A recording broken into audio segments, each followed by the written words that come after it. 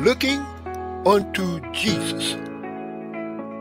In Hebrews 12, verse 2 and 3, we read, Looking unto Jesus, the author and finisher of our faith, who for the joy that was set before him endured the cross, despising the shame, and is set down at the right hand of the throne of God.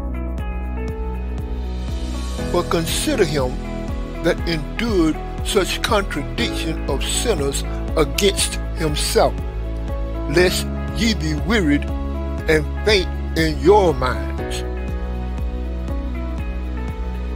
Isaiah 45, verse 22.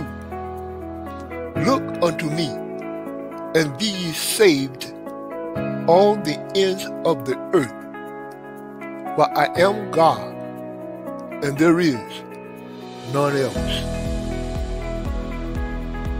When you look unto him, you receive life, and faith leaps up in your heart.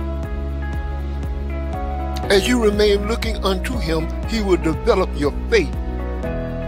He will become the very power in your life.